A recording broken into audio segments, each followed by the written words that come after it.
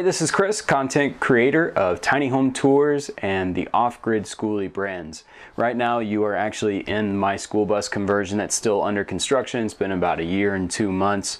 But today I want to talk to you about today's video sponsor, that is Displate. During the construction of the schoolie, I have a chest freezer built into my kitchen area. That is because I'm making this school bus to be able to be off the grid for a month, month and a half at a time, which means food storage. So I had an original design to put this chest freezer in here and I had a bulkhead area that I didn't know how I was going to fill.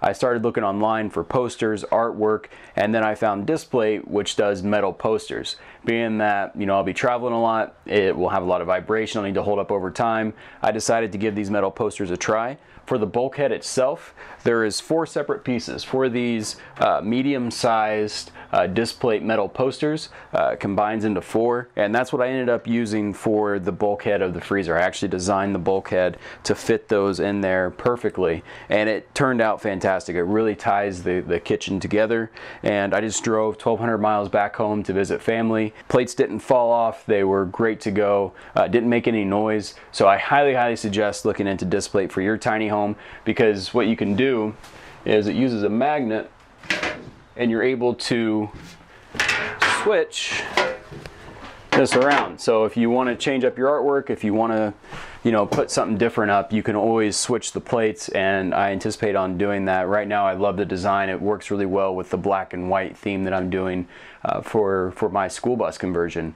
But teaming up with Displate to give you a coupon code, that'll be down in the description below. You can go to displate.com. They have over 160,000 different designs you can look from. It seems as though they, they concentrate a lot on gaming, but you can get a lot of this abstract art like I got. Uh, it goes well with the natural wood that I was going with and the blacks and whites. Uh, that I'll be painting the interior once I get some more work done with the bus. But I'd like to thank Displate for sponsoring today's video and I'd like to thank you for watching Tiny Home Tours. Uh, enjoy today's video. Hello, we're Ben and Rebecca from Seward, Alaska and we just bought an adventure truck to drive around the world. We're going to be YouTubing it as we travel east to ship across to Europe and then Africa, Asia, Australia, South America, Yep. Central America, back home. Right back right home back. to Alaska. It's a great starting and ending point.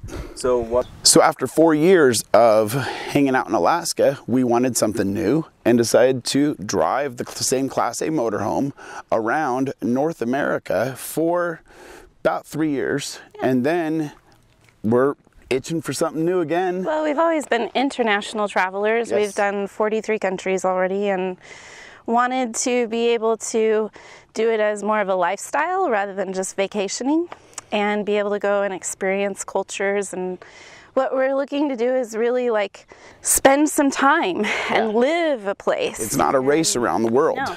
So we're looking at at least five years driving around the world and uh, we decided to drive because it's just really nice to be able to bring your home with you. You don't have and to live out of two suitcases. We have yep. a little dog and so she always has some stability yep. and a home, and so do we.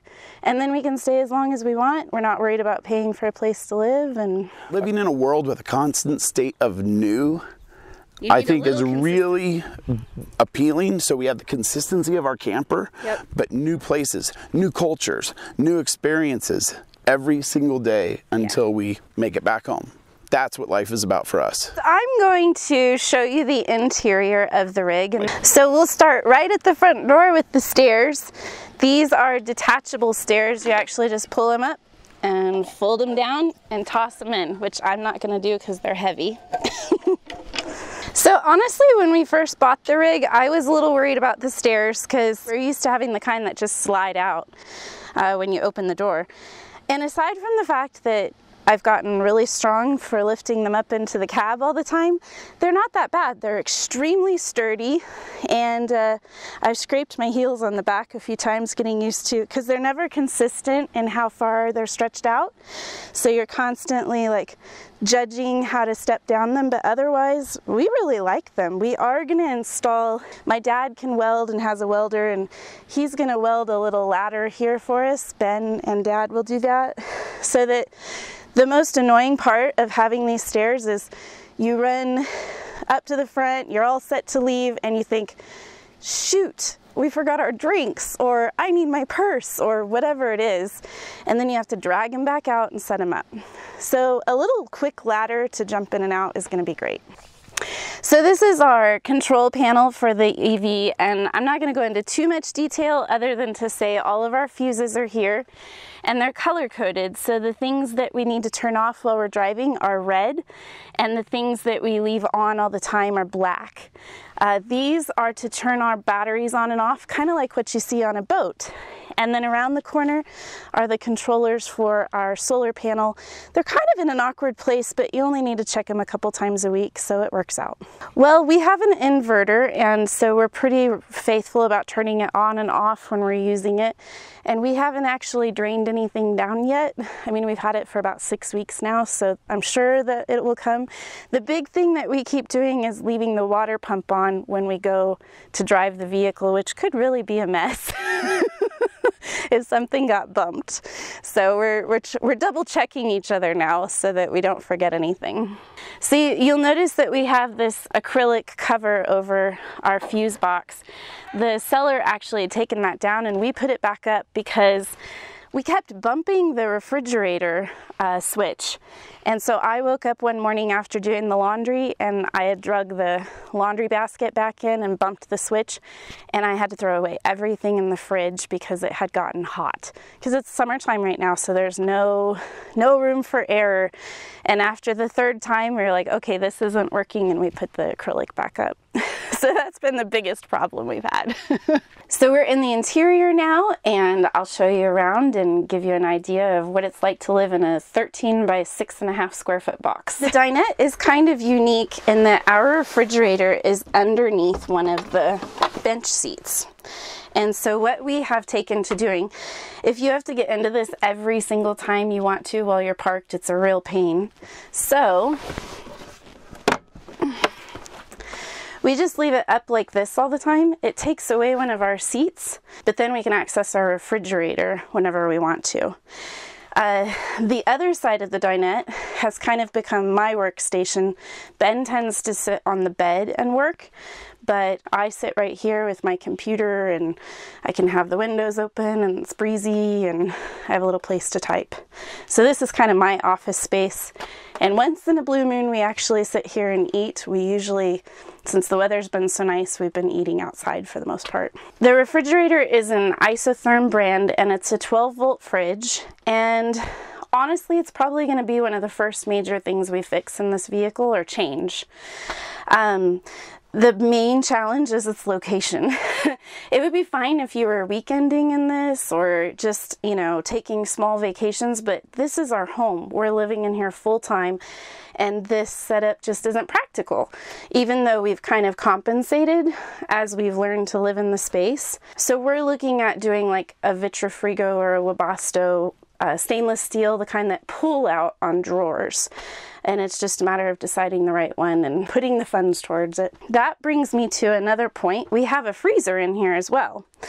And so uh, the freezer is built into the cabinetry. And it's a nice deep freezer. It goes all the way down to about here which is wonderful for us because we're from Alaska. So we brought salmon, halibut, caribou with us, and we don't have to buy meat at the grocery store right now. What we would probably end up doing is putting a fridge freezer combo here. We'd have to raise the cabinetry about six inches to accommodate it, but we've got room for that. And then they would just be pull out here. This particular, this is also an isotherm, but it can be a fridge or a freezer. The one under the dinette can only be a refrigerator. And the other challenge that we're having with our fridge, and maybe because it's summertime, is that sometimes it's really cold and it freezes our food, and sometimes it's just like the right temperature for a refrigerator. so it's very uh, back and forth. You never know what it's going to be like when you open it. So I did mention that this is my workstation and we have several sources of mobile income. We have some real estate. We also have our YouTube channel and the brand that goes with it and we've expanded that into something that's really generating good revenue for us. And then I also have a background in medicine, and so I work as a medical expert about 15 hours a week as a contractor. And so that's what I do when I sit here. It's either that or else I also manage Ben edits all of our videos and records all of our content for YouTube. I handle a lot of the social media and building a new website and working on some merchandise and things like that. So we didn't put all of our eggs in one basket. We kind of did a variety of things. And if you're interested in learning more about mobile income, we are working on a class that will be on our website soon, like a digital course that you can take to learn about what you might be able to do for mobile income because everybody has different skills and, and qualifications that they can apply. A little bit more about the dinette before we move on. This space down here, we let our dog eat down here and it's really nice because she kind of has a little space where she hops up and sits there and she's out of everybody's way and she has a great view of the whole RV, but she does not underfoot, so she likes that. I also have been trying to get rid of baskets, so we're down to just one basket that we keep all of our electronics in when we're not working. But one of the baskets I got rid of and I made, I put everything in this ottoman instead. So it has our extra pair of shoes, some extra toilet paper, and a fan in it. And then behind our ottoman, this is a new feature for us, but we actually have this five gallon water jug and then we found an electronic pump. So I'll show you because I can pour some into the dog food. You just push a button and it puts the water out. Uh, really nice because it doesn't take up cabinet space or counter space then to have something sitting on the countertop with your water in it. And uh, we have really come to like that.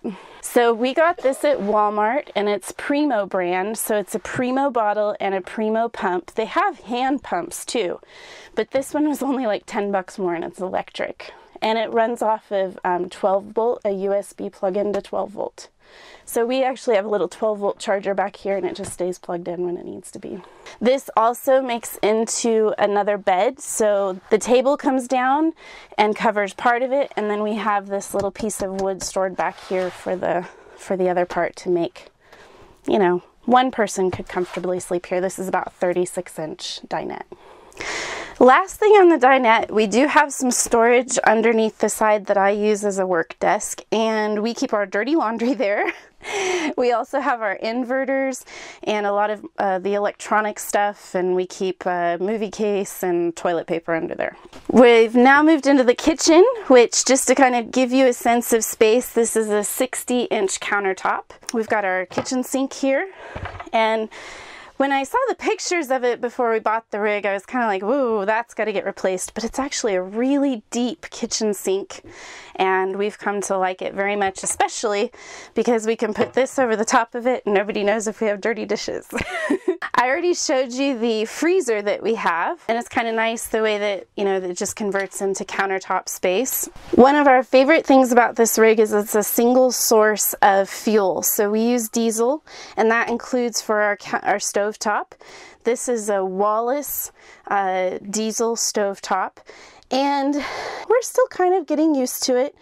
There is a little bit of winterizing fluid in it when we bought the rig, and so it's kind of caused a few challenges. Don't recommend doing that if you have a diesel stovetop. And then we've also, because we've been going through Montana, Wyoming, and Colorado, have been learning how to use the high altitude setting. But if you heat one side, you heat the other just a little less.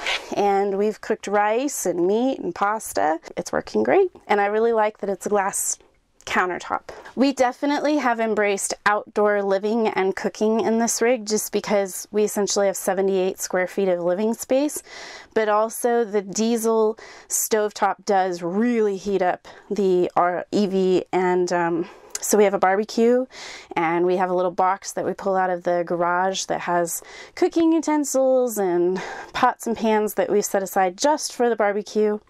And we have a screened in room that's about 100 square feet. So we actually have more space out there and really have embraced living out of the EV instead of in the EV, which is what we've done with our past rigs. We'll talk a little bit about the cabinetry next, and actually, I would say we probably aren't utilizing our cabinetry to full capacity yet, but uh, we're still kind of getting settled in. One of the things you have to think about if you downsize to something like this is don't be afraid to try doing new things. And I'll show you an example of what I did. So this is one storage cabinet that we have and our pots and pans are in the back and then mixing bowls and colanders, kiwis. And we put all of our silverware in just one little wooden box. One of the things I do love about this rig is they put sliding drawers in and this means that I can really utilize this space to the maximum. So we just reorganized this again. All of our utensils and measuring cups and scissors are here, our glassware, and we were having a really hard time finding a place to put tall bottles. So now they go here. And then this is our produce basket. And it's actually working out really well because it was sitting on the dinette and I moved it under here and it actually stays nice and cool but I can just easily slide this drawer out and grab whatever I want. Our bananas are, have started lasting again like they normally do in a house since I did this so I love that.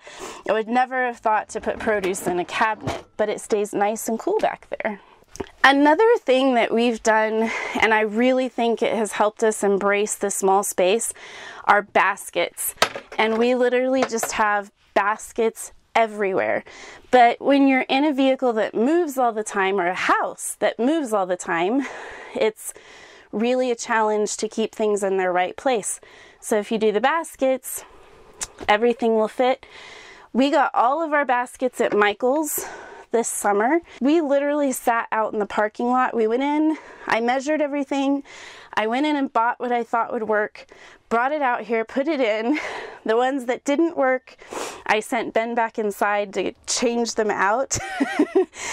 and we just kept working at it until we got to uh, the point where we were utilizing the most space and everything fit. So uh, this is kind of like kitchen side and food. We have our spices up here and our towels and vitamins there. And then these are our personal baskets. So I have one, Ben has one, Shelby has one, and then these are some more vitamins.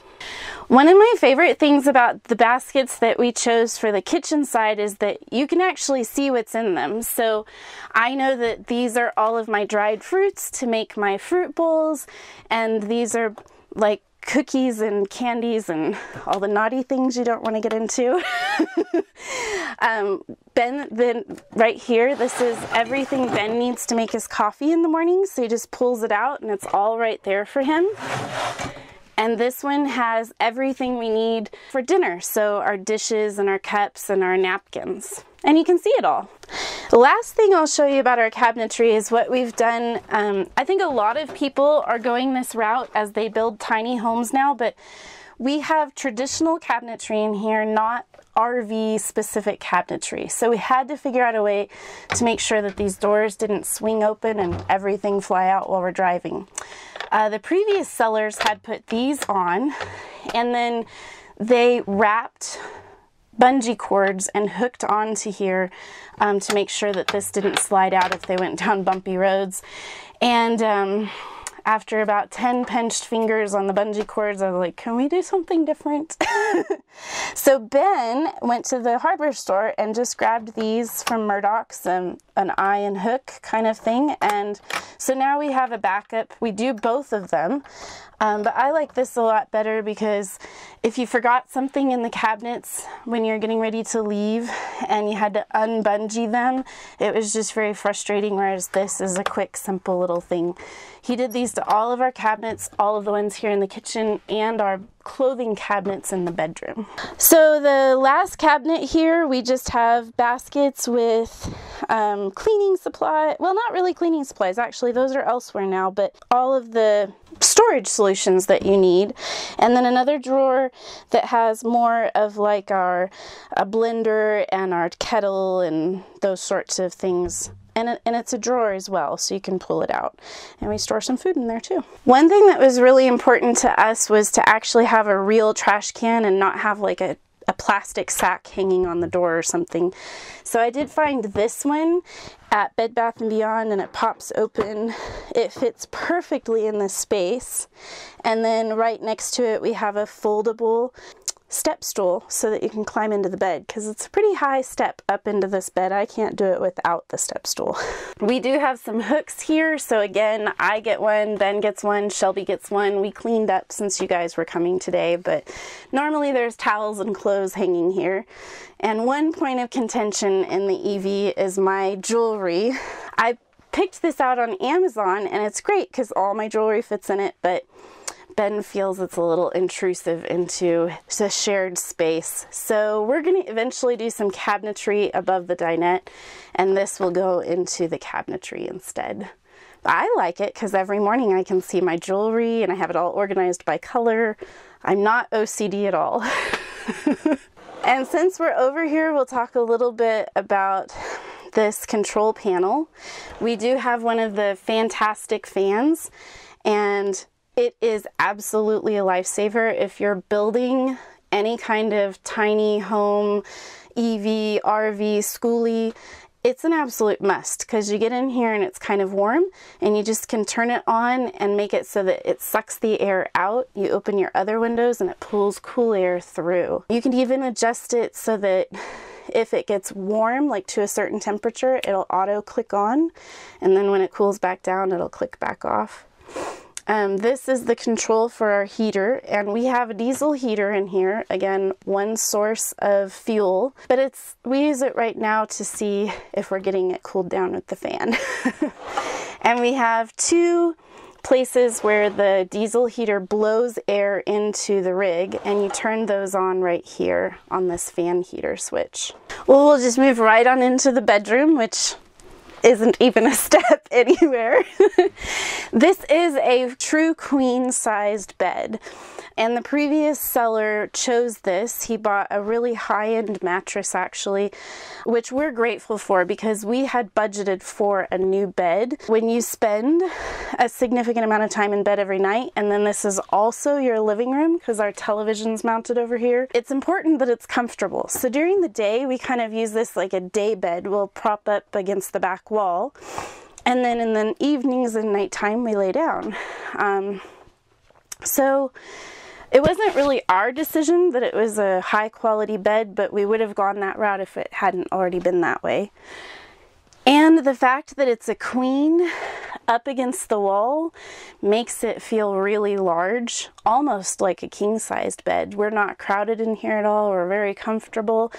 And that was something that we always kind of fought in our last rig because it was a RV queen and Ben's really tall. So his feet were always hanging off the end and he wasn't really comfortable.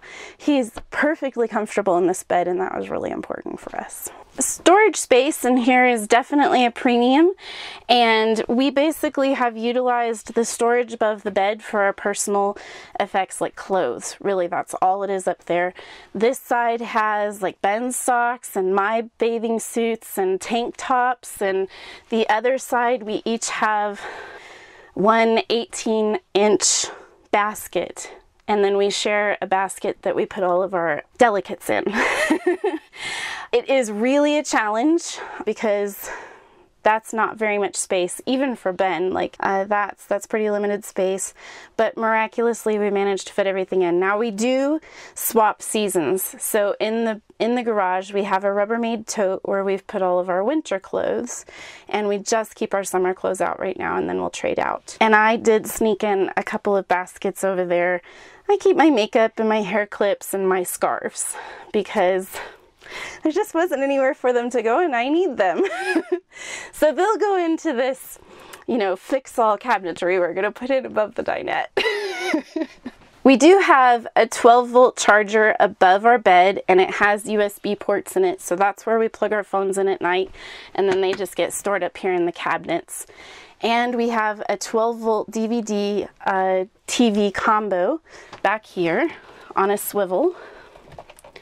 And we're actually, we don't have a 12 volt plug-in back here for it right now. Ben's gonna install that when we're at my dad's in a, well, actually this week. So we're just plugging it into regular electricity and you have to turn the inverter on. So last thing in the bedroom is we do actually have storage underneath the bed and you can see the opening for it right here, but it goes the full length of the cabinets back here. So all the way under the bed, we have um, vitamins and medicines stored clear back in there, extra set of sheets. That silver Rubbermaid that you see, we call the catch-all box. um, when we don't have anywhere for something to go, it gets thrown in there until we can organize. And then we each have our computer bags sitting there. And we have really cool like lap desks that we can use on the bed and we store those there as well. And kind of a very basic system of putting bungee cords in front of it so nothing falls out while we're driving. Oh, I thought I'd show you these desks really quick because they are pretty cool. My mom actually found these in, online and gave them to us, but they're fully adjustable. Like you can change this angle, you can change this angle, you can change this angle. And so it makes it so you can sit on a couch and type, or you can lay in bed and angle it up like this. And it has a little lip to hold your computer. You can change the angle of this part. It's just a great tool for us because when you fold them up, they take up absolutely no space, but they're very versatile and make it so you can work just about any space and actually be comfortable and not have that hot computer sitting on your lap. so last thing before we move into the bathroom, I'll show you our windows because they're pretty cool. Uh, we have, so these are double paned acrylic windows. You can get them in glass as well, but ours were acrylic. They're made by Dometic. And the awesome feature of it is if you go down, you have your screen. If you go up, you have a blackout blind so you can stealth camp number one. But number two on the back side of this it's Reflectix. And so it actually helps to keep it cool in here. Whenever we're driving we put all the windows up so that no no sun comes in and it's much cooler since we started doing that when we get back here after driving The way that the window part works is pretty cool because right now I have this set on event setting. So it's just like enough space for my fingertips to fit, but a little bit of air comes in. So then if I push that button, I can push it to three different settings. So one, it's very temperamental. One, two, or three which is all the way open. And I love this setting when it's raining because you know, in regular RV windows, you have to close all the windows when it's raining. And in the summertime, that gets really hot. With this one, we leave it open. No rain comes inside. You don't have to run back to the EV because everything's going to get wet indoors. But you also can keep the cool air flowing and I can't say enough good things about these windows. The only complaint we have is the bugs can get in around the sides. So before we go to like Africa, we're gonna have to upgrade these windows to a different style where they seal all the way around. Yep, so we just drop this down and then the screen is present and you got your window and no buggies. Only other room in the house is the bathroom and right now does not have a door but we met a couple who have a schoolie bus this weekend and we really figured out how we're going to put a door. So we'll do a slider up here and a slider down there and be able to slide this way and then close it. Have a door on the bathroom. Really important to me. Ben doesn't care, but I just need a little privacy now and again. Uh, we do have two hooks out here. We actually only ever use this one. My towels hang here and Ben hangs his towel here. It's not practical to have your towel hanging in the doorway of the, of the house. So this is a wet bath and one of the challenges I really struggled with when we first moved into the rig was you come in and it doesn't matter if you take your shoes off or leave them on. In the summertime, you're wearing sandals and your foot feet are dirty. So you step into the potentially damp shower and your feet make a mess. So then it's really not that fun once you are showering to shower with a dirty floor. Plus, there is nowhere for us to store our bath mat. So, what I did was I bought a bamboo mat and I put that um, on the floor. It's raised so water can drain accordingly, but then I put our bath mat on top of it. So, then when you step in and use the toilet, you have this nice cushy mat to stand on. And when you shower, you just take it out, set it in front of the bathroom door, and you don't have to step on the dirty doorway mat when you come out clean from your shower. Again, I'm not OCD at all. We have a cassette toilet in here, and that's the first for us. We're used to RV toilets with a big black tank. This is a cassette toilet that has a five gallon cassette underneath, and Ben will show you that when we go outside. It has two knobs on it. One is to open and close the toilet so that you can drop the contents down into the storage cassette. The other one you turn, it'll actually add water to the bowl for you like in a normal toilet. It's definitely taken some getting used to, mostly because we have to empty it pretty often. It's five gallons and that lasts the two of us about three days. And a lot of people use their toilets, their cassette toilets, where they don't do certain business in here. That's just not really practical for us because we boondock out in the boonies a lot. And there's nowhere else to go to the bathroom for days on end. So you can go outside, but sometimes that's just not practical. So, as far as the shower goes, love this shower. We have an incredible uh, water pressure in the shower. It's like taking a shower in a residential home. We did put an oxygenic shower head. These are available on Amazon. And it's a traditional RV shower head where you can turn it on and off so you don't waste water and it just has a little stream when it's in the off position. But this really helps you to not use as much water. If you have low water pressure, it also makes it feel like a much stronger shower. So we don't really need it for the water pressure this time, but we use it for the water saving qualities. I was definitely worried about the bathroom because it was a wet bath because it didn't have a door on it. I worried about the water pressure. Typically RV bathrooms are not great, but this one I really have enjoyed. We have a great shower. You know, you can use the top of the cassette toilet to put your leg up and shave your legs. So a lot of people complain about that. They don't have place to do that in a shower. And now that we've gotten the flooring issue figured out so it's not getting dirty every day, I'm really happy with it. I, I want a door. I'm gonna get a door really soon, but it's turned out to be a really nice bathroom and honestly like the least of my concerns in the EV for things to worry about. So the refrigerator is definitely a big concern just because I've smashed my fingers in it so many times and gotten pissed off at it. So the people who designed the interior actually had lived most of their lives and apparently raised like four kids in a really small sailboat. And so these panels, and I never pronounce it right, it's like Luan, Luan, something like that. These are actually what they put in sailboats, and it's it's actually high-end material and it's good quality. I'm not in love with the appearance. It's a really small space, and I'm I think if you lighten things up in a small space, it feels a lot more open, like you have more room, like you can just breathe better. Definitely the fact that there's five different colors of wood in here uh, something I'm going to take care of really soon. I've picked out some color for the cabinets, um, some wallpaper for some of the walls, and I'm going to paint some of the walls.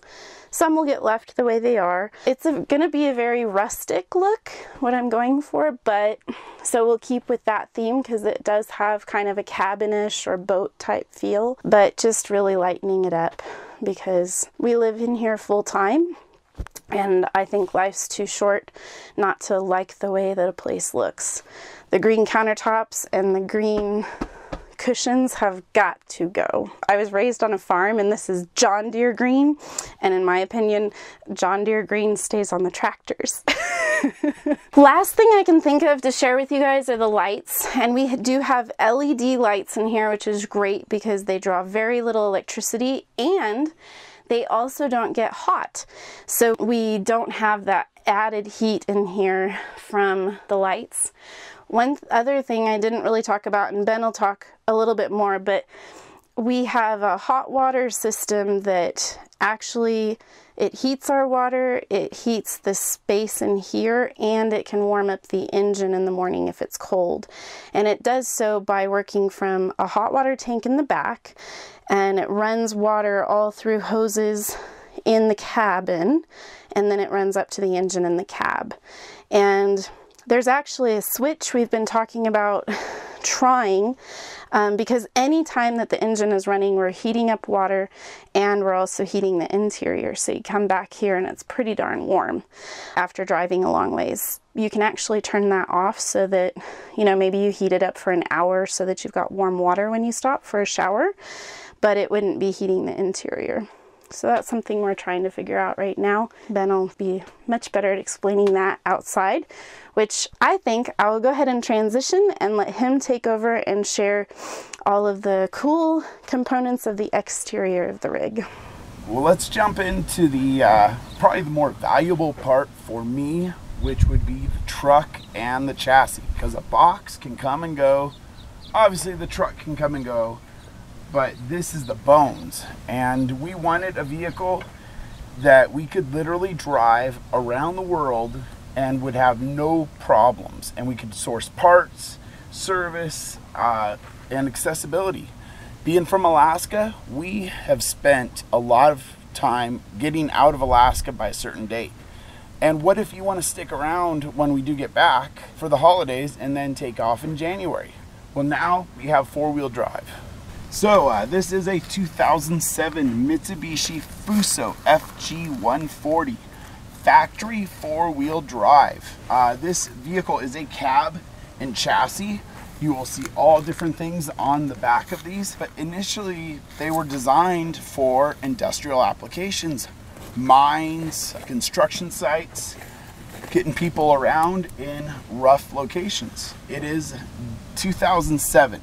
Uh, one of the limitations to world travel is ultra low sulfur diesel and diesel exhaust. So right around 2007, 2008 is when you will find vehicles that are can run on regular diesel. And that's specifically why we went with a 2007 Fuso. In uh, gosh, even in Mexico, it's hard to find ultra low sulfur diesel. So just working our way around the exterior of the truck, uh, this is sitting on 315 75 16 load range E tires. The suspension has been upgraded. There's a company out of Oregon called Earth Cruiser, and they make parabolic springs. Previous owner added Radflo shocks. And then really cool. So these vehicles come from the factory with dual rear wheels.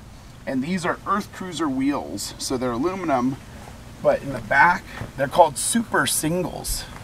And when you're off-roading, one of the challenges is a rock getting jammed between your rear tires. So that is no longer an issue.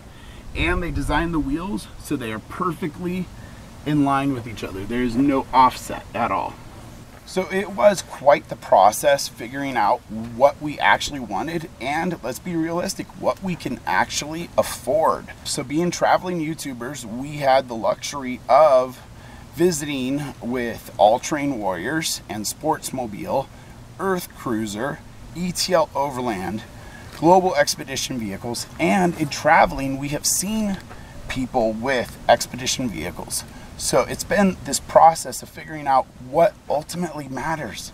And ultimately, it was the single fuel source. And Mitsubishi Truck Fuso is actually owned by Daimler, Daimler's Mercedes Benz, which means we can source parts and service all around the globe. Well, I'm not gonna unlatch it, but here is where you tilt the cab forward. Keep it in mind when you tilt the cab forward, you need to empty out the cab so stuff doesn't fall and break the windshield from the inside out. Uh, this vehicle has 39,000 miles and not a lick of rust. So it is the perfect truck and chassis for us. Uh, the box is mounted on a uh, three-point uh, mounting basis. I don't know the exact details of it, but I do know that the cab and the camper uh, articulate and float independently of each other, which is a very desirable feature. Even though when you are off-roading, you will see the cab tilting uh, in crazy directions compared to the camper. Uh, 60 gallons of fuel capacity between two tanks, and then we have three Optima yellow top batteries, an onboard air compressor, which is uh, tucked up underneath there. And here's where you uh, drain the moisture out of the compressor. And here's where we drain our gray water. It's right there. So there are not traditional uh, tanks.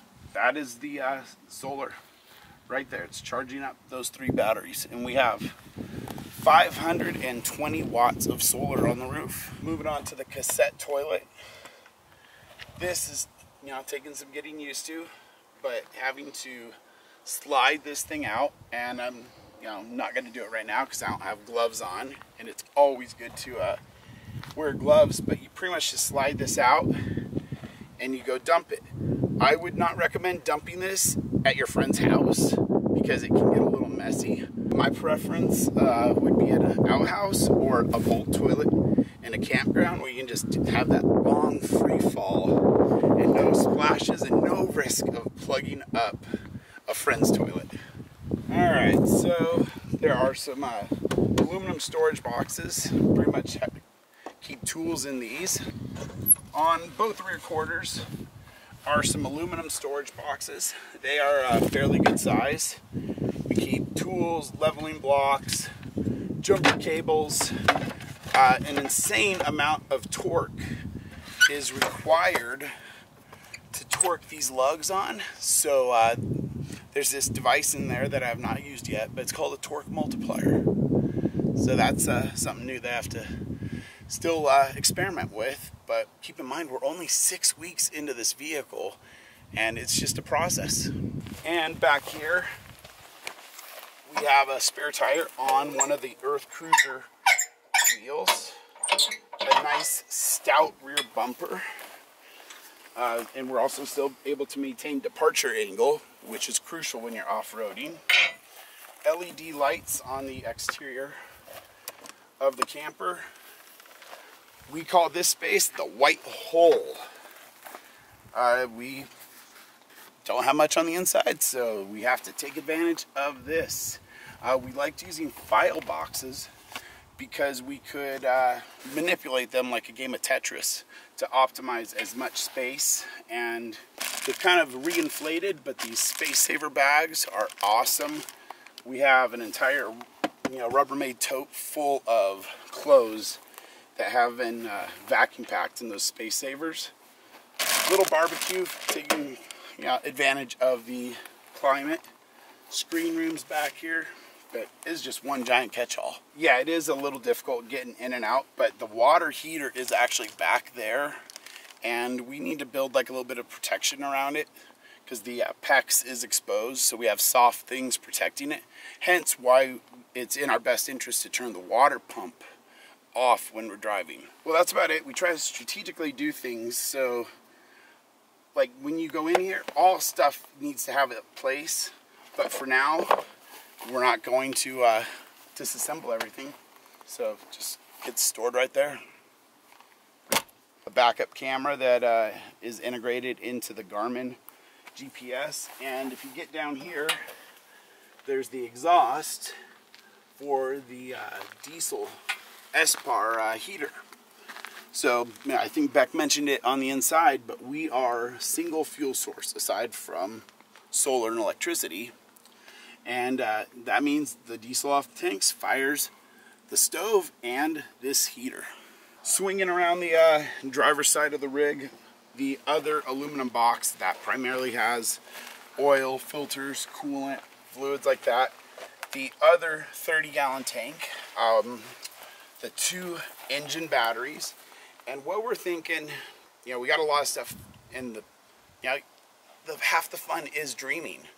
But it would be nice to put a uh, decent size diesel generator right here, take away from some of this fuel tank, add a little more space to that fuel tank, and then add an air conditioner.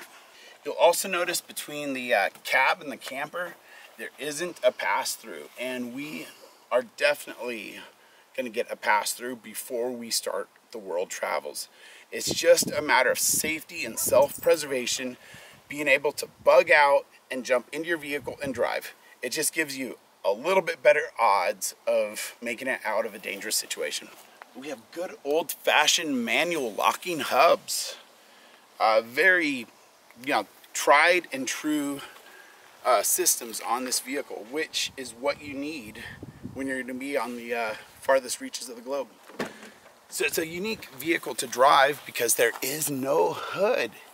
And you also have the uh, effect of being like a bus driver with the location of the steering wheel. Getting in, it is a little bit of a rhythm. So right foot, left foot. And uh, just from your perspective here, this is where we shift into four low. The uh, switch on the dash for four high is right here, which is a uh, nice feature because if you have full-time four-wheel drive, you're pushing all four wheels all the time, which is uh, going to draw up your fuel economy. We're getting about 12 to 13 miles a gallon on uh, the diesel, and that's really not all that bad. Uh, there are some nice luxury features. Power windows, power locks. I guess this is a uh, vehicle still designed for uh, many different applications. A 2007 with an ashtray. Uh, manual transmission is nice. First gear is a uh, complete granny gear. Second is completely adequate to take off in. AM, FM, CD, we're to change that over to something with Bluetooth. Uh, factory air conditioning, so it works great. But driving down the highway is really not that bad. It gets a little bouncy on dirt roads, but it's an off-road capable vehicle, so that's to be expected. Well, thanks for joining us today on the tour of our tiny home expedition vehicle. Uh, remember that we haven't shared the name of our vehicle, and all these vehicles have to have a name. Of course. And the name has to be symbolic. So we chose, it's going to sound weird at first, Denali Faraday. Now, the Denali part is very symbolic, uh, a tribute to our uh, home state of Alaska. And we're very proud of our home state. You've been there plenty of times, Chris. You can completely understand, but Denali is the native word for the mountain formerly called McKinley, but the highest peak in North America, and it stands for the Great One. I'd say this is pretty damn great considering what we're about to do. The Faraday part came it's because funny. it totally organic, but once we got in this rig, every time we step inside, kills our cell phone service. and especially once you roll up that uh, reflective window, so we feel like we're in a Faraday cage, which is a uh, device that, I guess in, I'll say that if there's an EMP, we're, we're probably, probably, safe. Okay. so be sure to check out his and hers vlogs on YouTube. We also post to Instagram and Facebook. Yep. We're in the process of building a new website right now, and when that goes live, you'll be able to see it on our social media. But we're going to have some educational travel products on there, and uh, just more things that we think will help you make your dreams a reality yeah. if traveling is what you'd like to do with your life. And if you have any more information, uh, you can look in the video description, uh, but also check out our channel because we've produced at least 20 videos in this new camper on our way from Montana to Colorado, and we're to keep it up as we drive around the world.